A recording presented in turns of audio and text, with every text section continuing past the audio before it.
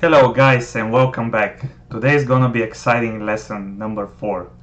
Today I wanna show you how I would create a pick and place, very simple pick and place, so we can use what we learned so far and what I was showing you.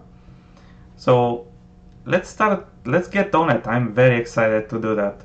So the first thing we're gonna do is we're gonna insert move J. This is gonna be how we gonna get so let's talk a little bit about our scenario. So what we're gonna try to do in the end is we're gonna try to pick up an item from the left side and move it 180 degree and place it to the right side. So the first thing we're gonna do is we're gonna insert a move and then we're gonna go into the waypoint. We're gonna go into the command and we're gonna set the first point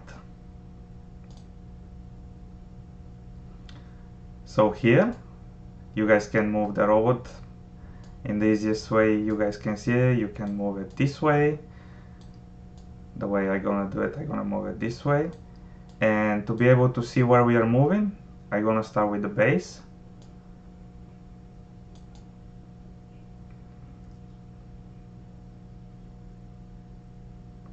So minus 90 degree. This means if we want to move just 90 degrees gonna be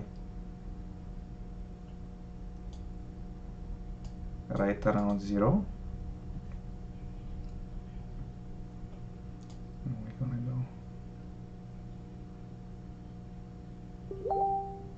go up. Actually, we're gonna go up first. So if you guys remember was about minus 91 degree we're gonna go up. Then we're gonna add another waypoint which is gonna be at zero degree.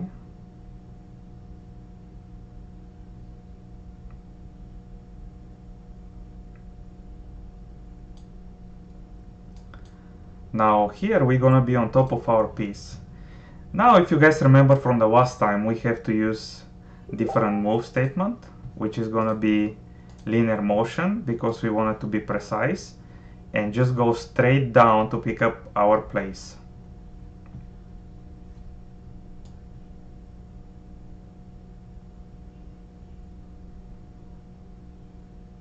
Okay, so if you guys imagine that's where our place is. And now what we want to do is we're going to go back to the same position. Well the previous position was waypoint 2 so what we're going to do? We're just going to copy that.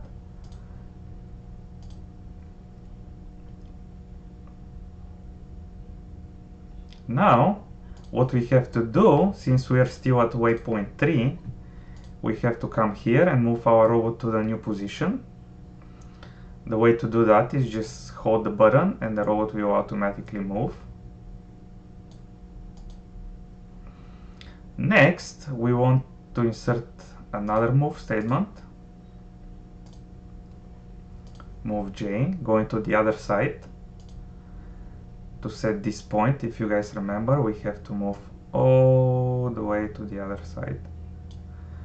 Actually, we're gonna move this way. So that's gonna be minus 180 degree.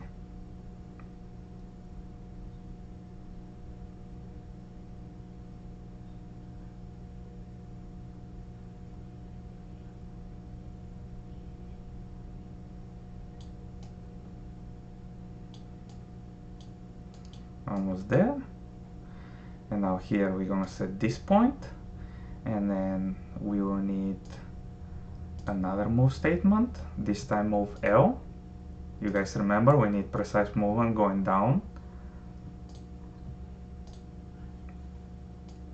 You can turn it so you can see it better. Now we're gonna go down and place our piece. Okay now, you guys remember, we need to copy the point because we want to go, go back to the same point. so we'll just copy that point and paste it under waypoint number 5 and then from here we want our robot to go back to waypoint 1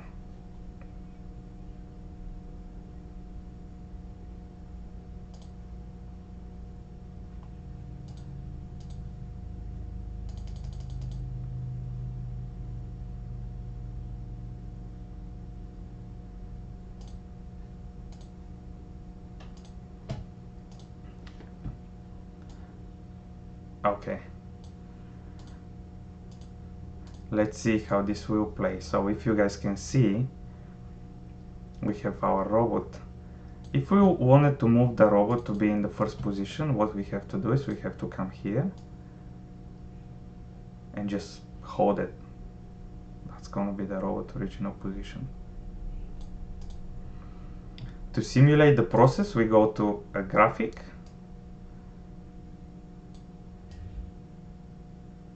and then simulation. And then we're gonna play the program from the beginning.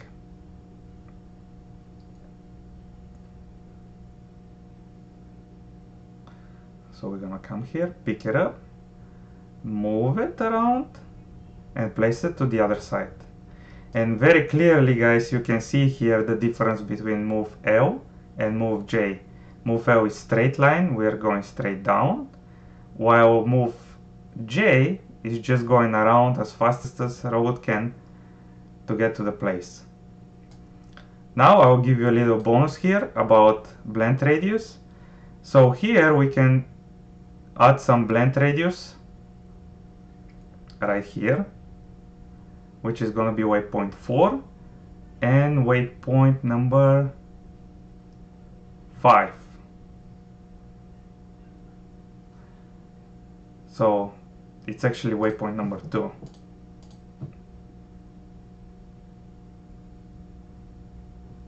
And waypoint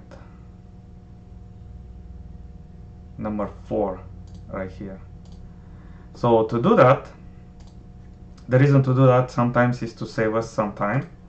The way to do it is we can come here and by default is 50 but we can do it a little more like 75. Let's do the same here and like you can see right here is our blend radius. So on the way back instead of stopping we're gonna save some time and just going around it. Let's see how this will play.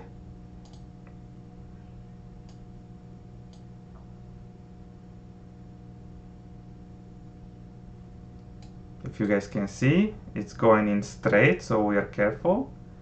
But then on the way back it's just blending also, once you guys are done, I will show you how to save the program. Simply go right here in save, save all. Just let's say pick and place.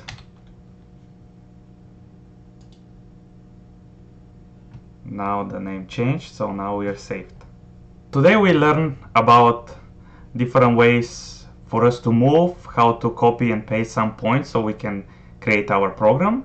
Also, we learn about the blend radius and why we're gonna use it. And tomorrow I wanna continue building on this program and show you when we have a gripper, how to set the gripper to grab the piece, set it on and off, to lift the piece, and also we'll learn about the wait command. So I'm excited to show you that tomorrow.